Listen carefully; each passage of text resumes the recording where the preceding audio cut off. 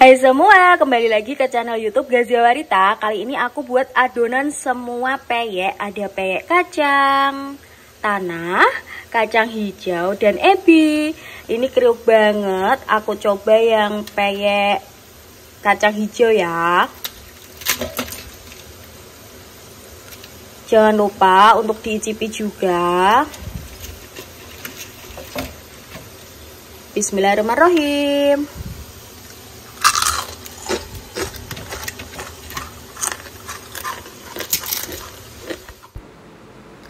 Nah, toppingnya ada udang rebon, kacang hijau, kacang tanah, dan juga daun jeruk. Terus ini bumbunya garam, ketumbar bubuk, kemiri, dan juga bawang putih. Dihaluskan, diulek sampai halus. Nanti lebih jelasnya aku tulis di deskripsi box untuk takaran resepnya. Kemudian tuangkan tepung beras setengah dari 500 gram ini, kira-kira aku sisa segini. Tambahkan 3 sendok makan tepung tapioka. Baking powder yang double acting setengah sendok teh sampai 1 sendok teh. 1 butir telur ayam, bumbu yang sudah dihaluskan dan teman-teman tonton terus videoku ya karena aku ada tips tanpa tambahan santan.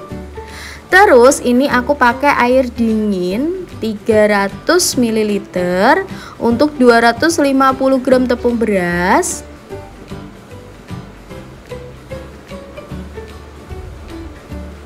Kemudian aduk hingga rata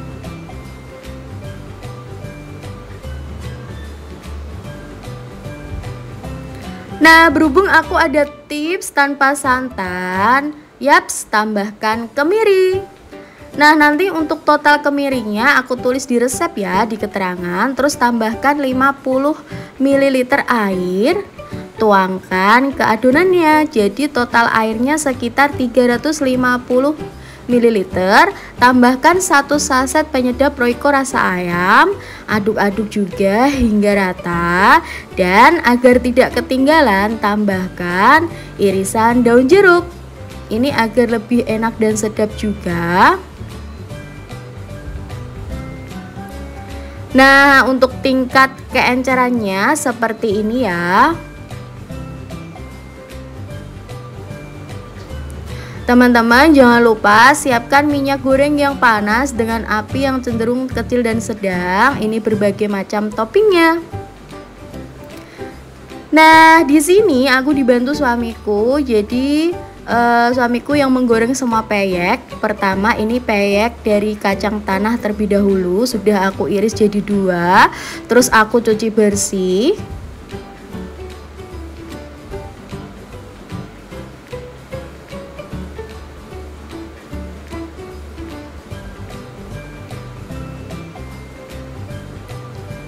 Nah, di sini untuk tips menggorengnya tanpa dibolak-balik, hanya dicelupkan di minyak saja seperti ini tanpa dibalik.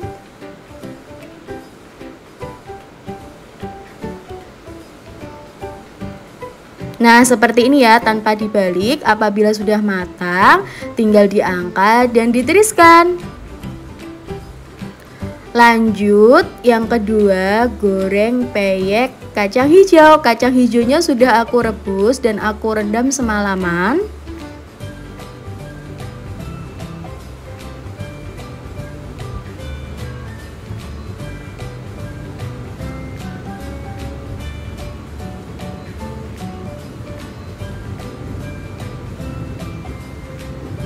Ini dijamin kriuk, renyah, gurih, dan tahan lama.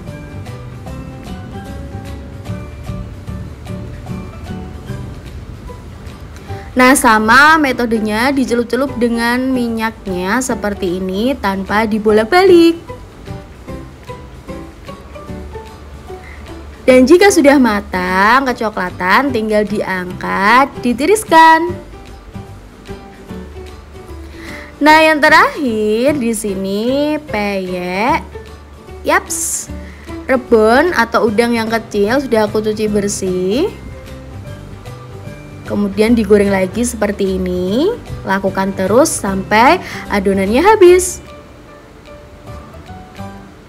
Praktis kan? Satu adonan saja bisa jadi tiga macam peyek. Peyek kacang tanah, kacang hijau, dan udang rebon. Terima kasih ya sudah menonton videoku sampai akhir. Semoga resepnya bermanfaat dan jangan lupa untuk di like, komen, dan subscribe. Terima kasih.